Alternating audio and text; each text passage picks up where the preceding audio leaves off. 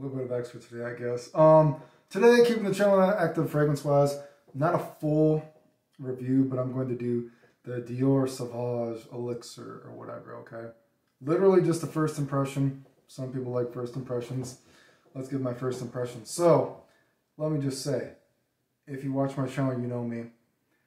I'm not super big on Sauvage. I do think it's a very complimented fragrance though, because I can tell you when I've been out, I have had people tell me, oh my God, you smell so good. You're wearing my favorite cologne. It must be Dior Sauvage, whatever, when I'm not even wearing it. So that should show you how popular it is, right? But, you know, not really, not really my kind of thing, okay? And I can tell you, I can't even fucking remember, dude. I cannot even fucking remember what the Sauvage perfume there's a perfume version and an eau de perfume and the body spray. I can't even tell you what those smell like. I don't remember, but I do remember that I think the original those the original smells better than the others. So my first impression of this though was I was like, oh okay, this smells at least as good as the first one because I didn't really care about the other ones, and I think it smells infinitely more interesting. I mean, right when I smelled it, I'm like, oh, this doesn't smell anything like the others. It smells doesn't smell like a flanker. It smells like its own thing. So it's more interesting, of course. And I also instantly was thinking of, and other people have said as well, I'm like, wow, this smells quite a bit older. You know what I mean? Like this is like the daddy version of this. Like maybe you started like I think Sauvage might have came out like five years ago or something like that, right? So maybe you got Sauvage when you were 25, 30 years old now. Now you wear, you wear Elixir or whatever. So it does smell older. And when I wore it, I kept thinking, I'm not against vibe fragrances, okay?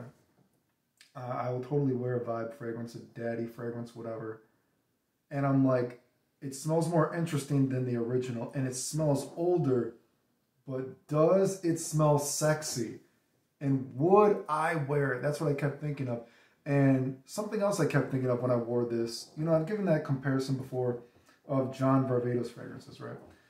John Varvatos fragrances to me are kind of like that, kind of like the daddy kind of fragrance for like, uh, what's it called? What should I say? Like regular fragrances, not niche. Designer fragrances, right? Like if you can't handle John Varvatos fragrances, right, you're probably gonna have a tougher time with some niche fragrances, right? And when I smell this, I think of stuff like John Varvatos vintage, the regular John Varvatos. I think of a more kind of, you know, older, kind of daddy kind of fragrance. You know what I mean? That's what I think of. And again, this is only my first impression, so I'm gonna have to get maybe a decant of it and smell it. Like where, where Varvatos vintage and the regular Varvatos are, something right next to me, right? But I, was instantly thinking of something like, wow, this is like a John Varvatos fragrance or something like that. Performance way better. Performance, performance is way better, and that is a you know a common you know thing that people hate on the Varvatos fragrances fragrances because of the poor performance.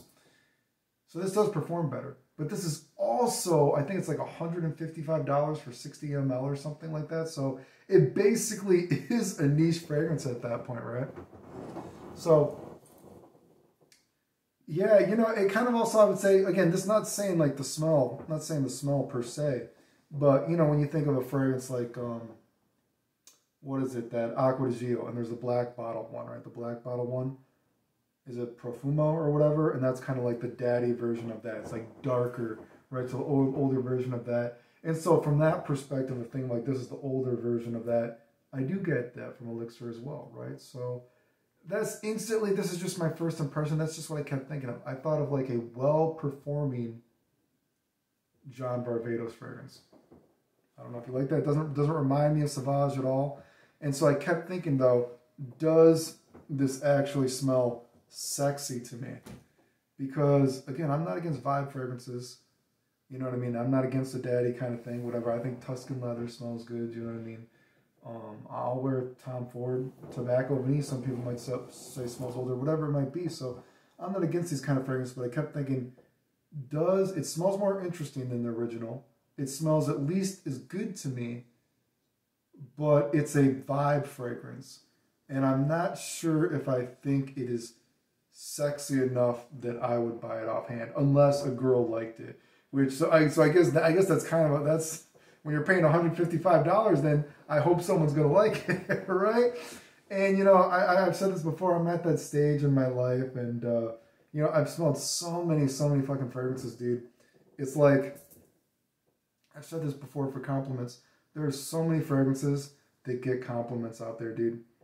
And it's like you can generally find a fragrance that you will also like that will get you compliments. And that's what I kept thinking about this. I'm like, man, it smells more interesting, older, potentially sexy kind of vibe. But is it sexy enough for $155? do I unbutton a button? Do I show the chest? Like, oh man, I don't know. I, I, I don't know, dude. I, I, am interested though. You know what? I, I guess the most interesting thing maybe to me about this fragrance is as a hobby, when you get into a hobby, you're curious if someone else that enjoys your hobby enjoys the fragrance, right? So considering how popular the original is, it is interesting to think about. I wonder how popular this fragrance is going to be, right?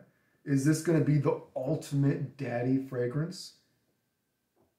If it's the ultimate daddy fragrance,